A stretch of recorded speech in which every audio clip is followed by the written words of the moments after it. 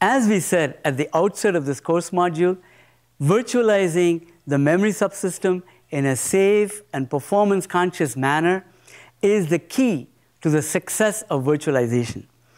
What remains to be virtualized are the CPU and the devices.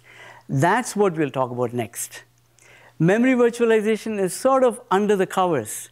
When it comes to the CPU and the devices, the interference among the virtual machines living on top of the hypervisor becomes much more explicit.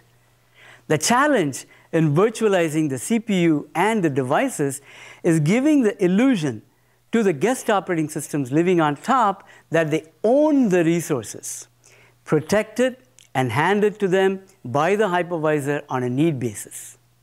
There are two parts to CPU virtualization. We want to give the illusion to each guest operating system that it owns the CPU.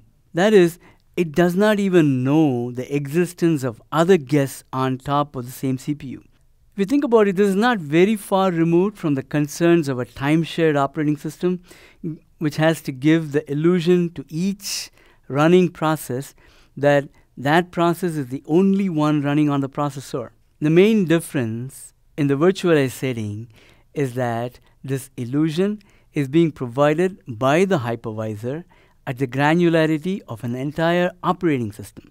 That's the first part.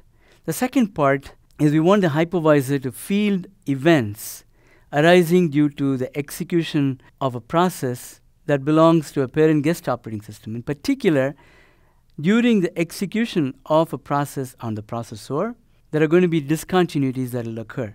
And those program discontinuities have to be fielded by the hypervisor and passed to the right guest operating system.